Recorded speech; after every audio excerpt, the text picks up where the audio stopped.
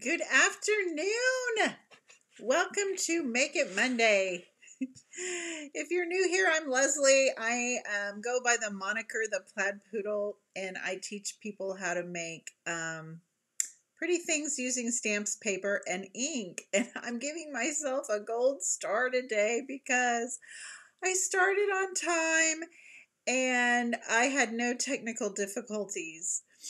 If you're here, please say hello. I'm live on Facebook and YouTube, so um, we'd love to chat. Um, love to have something, somebody to talk to. Hi, Kathy.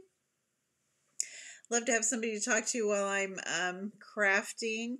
I'm going to share a cute little project today um, that's very easy, um, but it does require some die cutting. I have I probably could do a an alternate that you wouldn't need the um, the dies if you are not a die cutter, but um, we'll get to that here in a second. Um,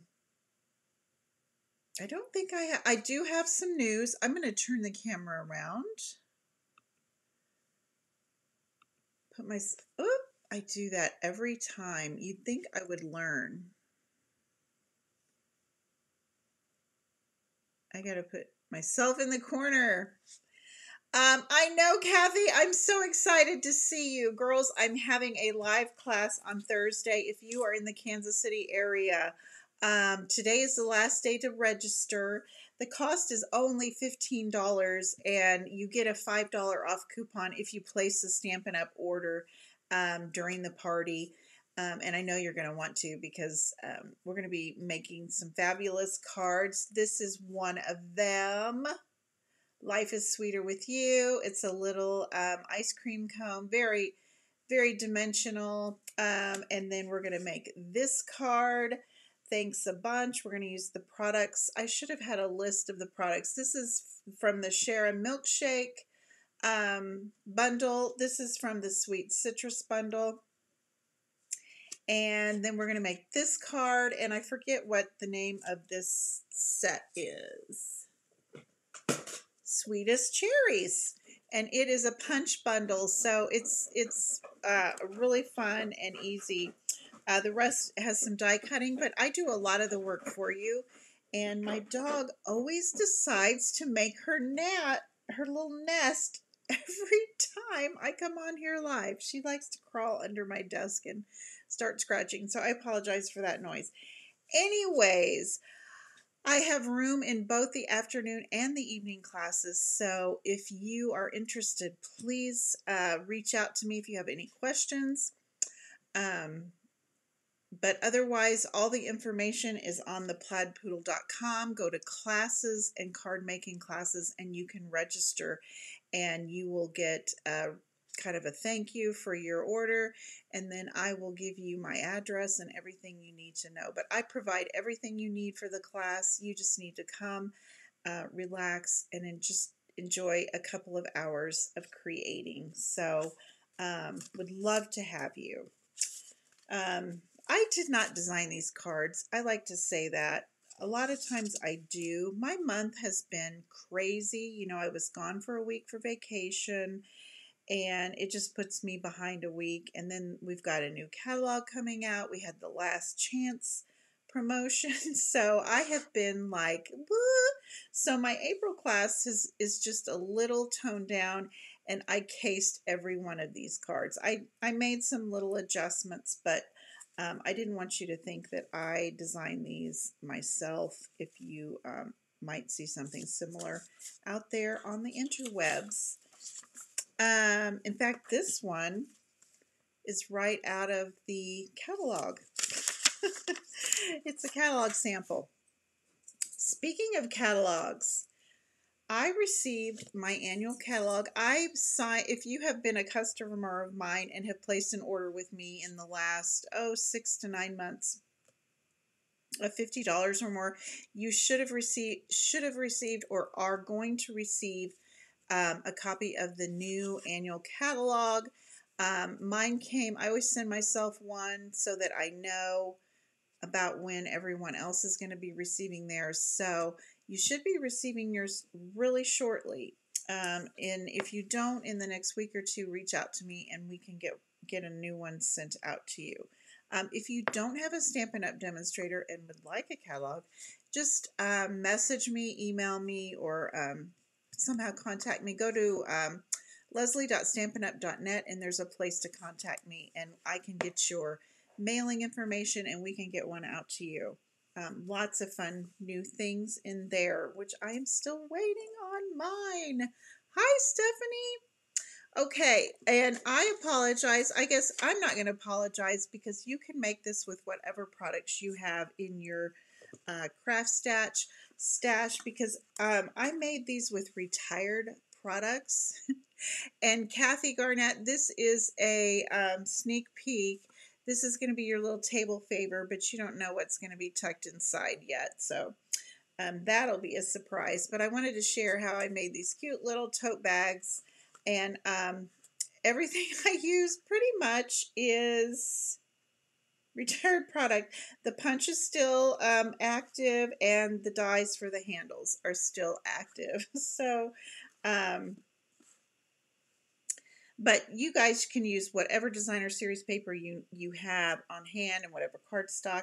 Cardstock's still active, and the, even the little gems I used, I just thought they were too perfect for the the um, inside of those daisies and I wanted to use those. So they are retired as well, but I'm sure you can find something um, that you can um, use to create this um, yourselves. Uh, the medium daisy punch is available, and I think that's what highlighted it all. These little flowers on the paper were my inspiration for that. So, um, Stephanie says, Oh, I think I will make these for my sister's sorority class on Saturday. Gotta get busy. Oh my gosh, you you're getting on a plane tomorrow? Yeah, you better get busy. There's no way I could create something if I was getting on a plane tomorrow. Okay, I'm gonna pull out my um, Simply Scored tool and um, your paper is going to measure and I will have like a project sheet. This is this is a project I did a couple years ago. I'm repeating it, and I cha- I made a little little few changes. Um, but I'll have a project sheet that you can download a PDF of this of this little cute little bag over on my blog um, later on this afternoon. So just go to theplaidpoodle.com and all the instructions will be over there.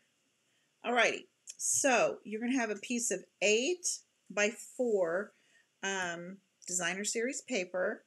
So you can get three of these bags out of one 12 by 12 inch piece of designer series paper.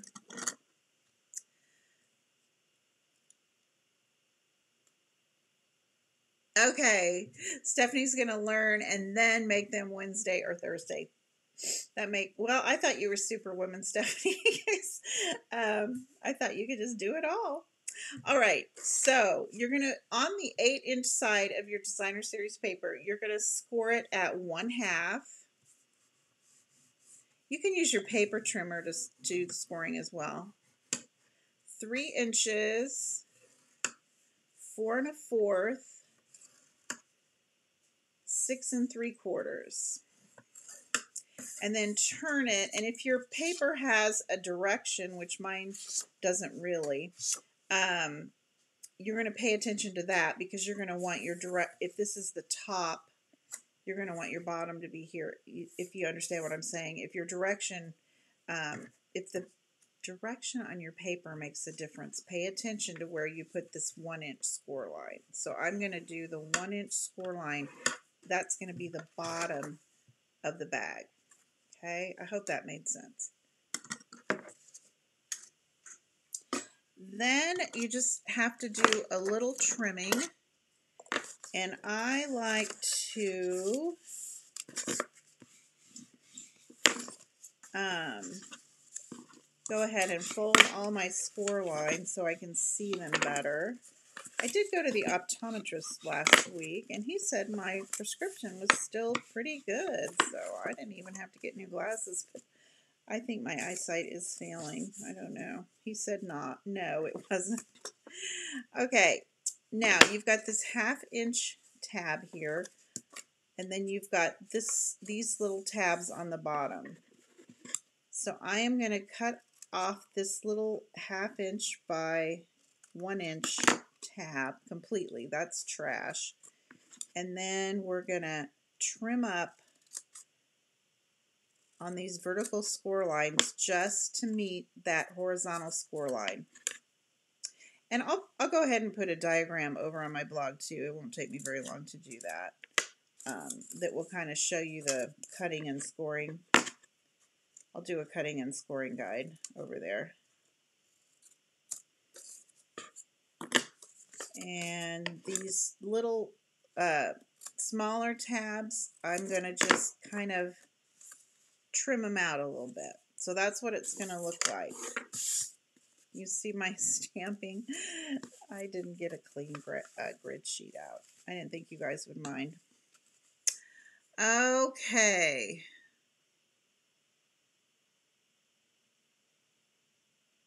Stephanie is shaking her head. oh my gosh.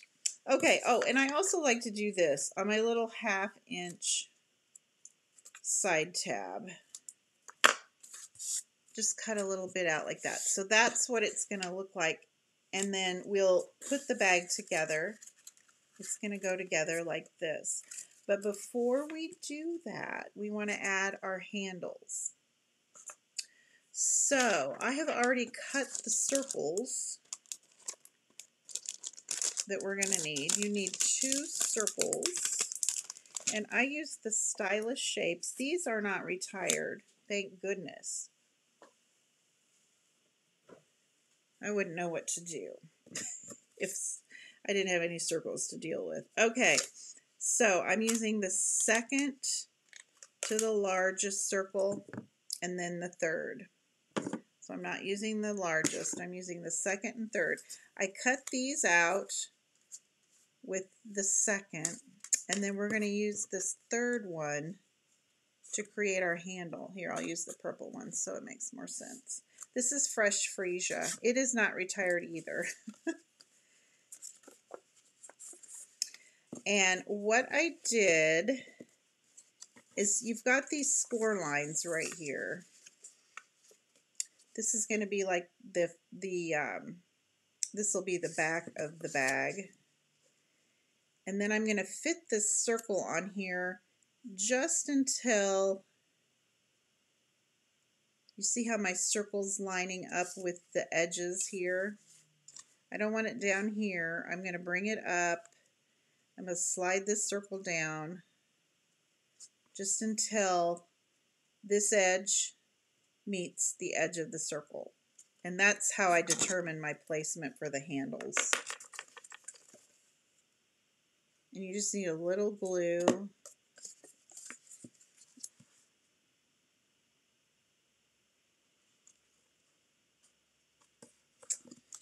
See how the circle met this edge. That's how I knew where to place it. It's probably not a big deal where you place it as long as both sides are placed equal. Hey, Loopy, no worries. We're just getting started. You can watch the replay, or I um, will have everything over on theplaidpoodle.com later this afternoon. Okay, so we're going to do the same thing with the second circle that I cut out. And you can kind of eyeball it too. I don't think they have to be absolutely perfect, but you, you know, it's like a purse. All right, now is when we're going to take this second circle, stitch circle shape, and just kind of put it in the middle there. Aren't they cute? You get one on Thursday, Loopy. I'm so excited to see you girls. It's been forever. These are your little table favors, but you'll be surprised by what's inside. the surprise is going to be kind of ruined, but you get one of these when you come. All right, so we're going to cut out two of the, this one and this one. Let me grab my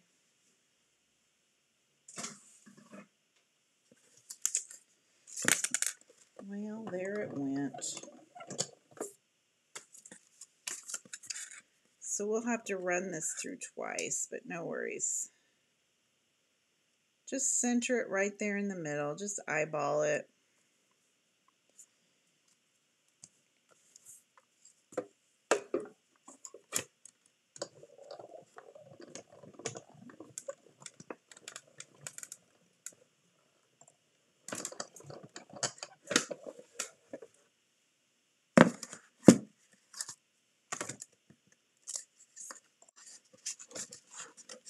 Hi, Carol. Hope you're having a good day. It's beautiful here in Kansas City. So see how that made the little handle? Then we're just going to do it over here on the other side.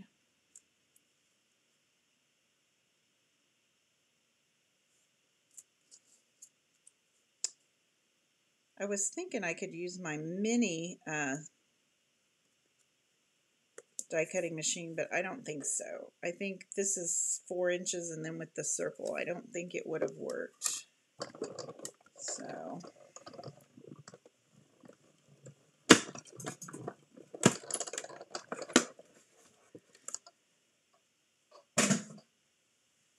Alrighty. And that's all the die cutting we're going to do.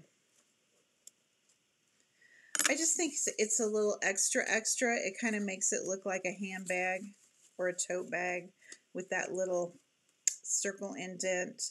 You could probably just make this without, um, if you don't have a die cutting machine or circle die cuts, you could just make, use the same measurements and everything, and then it would be a little box.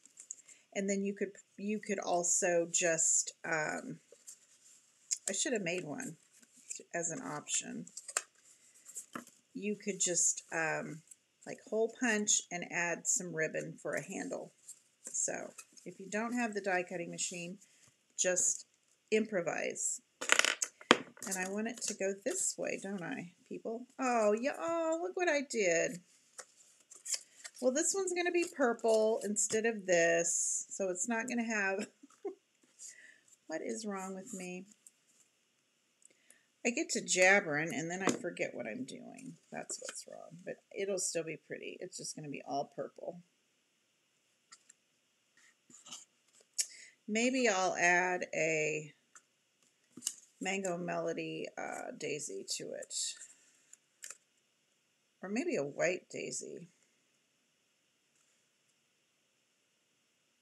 Just to give it a little something different.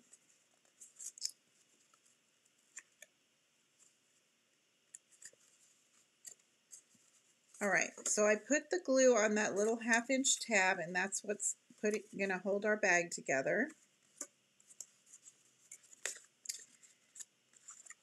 And then I'll put a little glue on these tabs. And then I always like, I always say this, here's the seam from the fold where we glued it together. So I want this to be the back, so I'm gonna fold it in first. This is always the hardest part, is getting it squared up. And then this will be our front flap. We'll just fold it down. Hold it there a second. And then you can use your bone folder.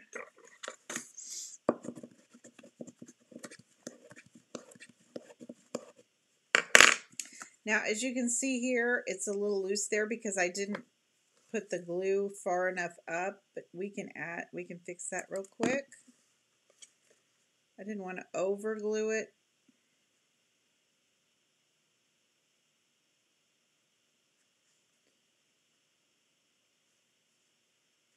There we go. Oh, it's so cute. I love these. All right, so that's basically the bag. Now you can embellish it any way you want. I just, I kind of went with the flower print off the, the paper and I grabbed the medium daisy punch and I also cut a little piece of cardstock. This measures a little less than two and a half and, and one and a fourth, just to give the bottom. This is completely optional, but it fits right in the bottom, so it gives the bottom a little, um, makes it a little bit more substantial. Make sure my back is my back. I did this so good, I can't even see the seam. I'm having a great day. Okay, now, this is what I was going to use for my flower, but I just think that's too much, too much. I want to use something a little different. I want to use this print if I have any left of that print. Oh, turn it over and there it is. And I'm going to punch two of the daisies. And then I like to curl them a little bit with the um, bone folder just to kind of give it a little bit of dimension.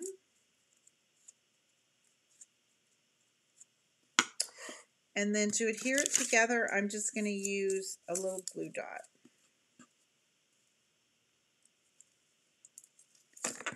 And kind of put these petals cattywampus from each other.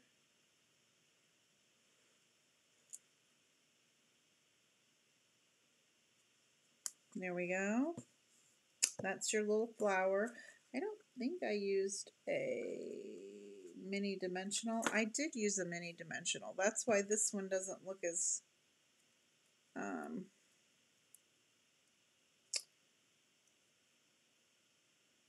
very gently pull them apart. did that sound did that sound like Julia Childs? I felt like it did in that movie. Here we go. Let's use a mini Stampin' Dimensional. And then they have a little bit more dimension. There we go. Yeah, that looks better. I knew when I did it, it looks a little weird. Okay, we're going to put that on there. But first I'm going to put this thanks so much tag on there. This is completely, completely um, retired. This is called the Jewelry Tag Punch. Uh, this is very, very old, and then I'm using this Tiny Tags um, stamp set. But if you have any, you could even handwrite something and just cut a little rectangle. But since I had the punch, I decided to grab it and use it. But you could even just write things on there or stamp something and um, just cut a rectangle tag. I just wanted something tiny for this tiny little bag. I'm using StazOn, which I hardly ever use StazOn.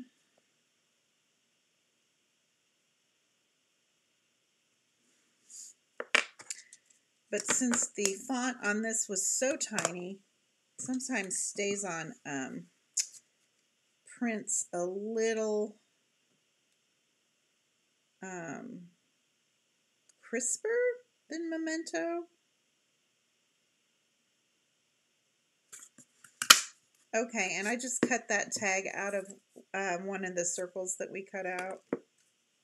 Just a little scrap. And then I'm using another retired product. Today's the day of retired products. Projects. Product. Project. To add my little um, hole. And then I just took some white twine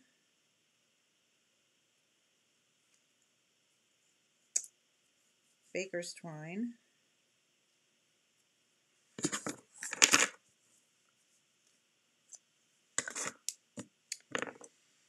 and I'm just going to tie a knot in the top of that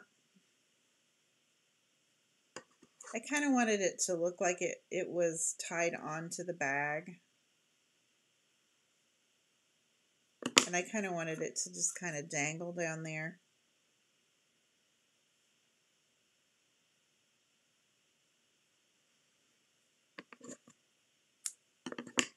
Okay. And for this one, I'm just going to use another little glue dot.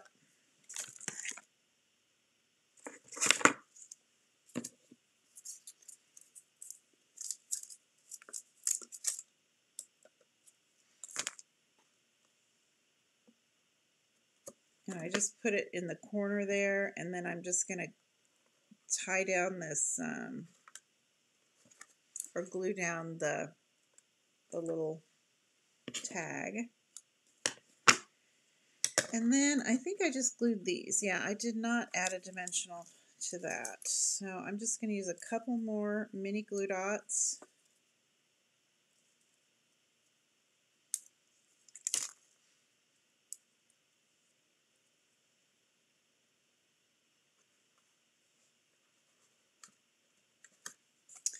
Put that on there. I love how that turned out. I was kind of disappointed that I didn't use that paper, but I'm kind of loving the purple one. All right, and then to um, embellish my little daisy, we could put a rhinestone or a button or whatever you have.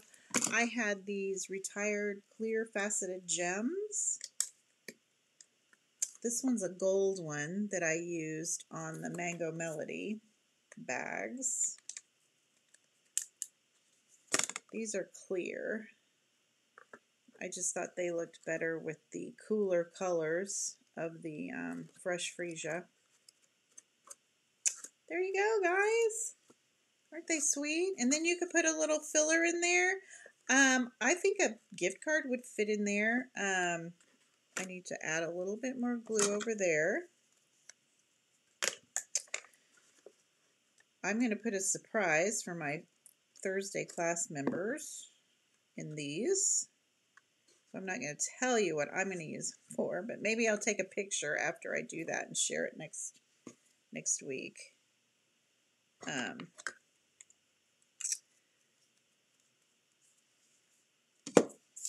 and that's it.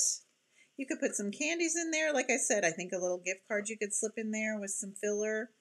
Um, pair of earrings, jewelry, anything small. anyway, that is the project for Make It Monday. Thanks for joining me uh, once again. If you're in the Kansas City area, today's the last day to sign up for my Thursday class. Um, I have an afternoon session at 1 and an evening at 6.30. We always have a great time. Um, I do all the work for you. You just get to come and have a have a crafty time. So, um, and I look forward to seeing Kathy and Loopy there. Yay, my North ladies. I get to see them after so long. Um, the rest of you have a safe trip, Stephanie. Be careful traveling. Um, and we will talk to you Wednesday for coffee and a card. Um, in the meantime, happy stamping.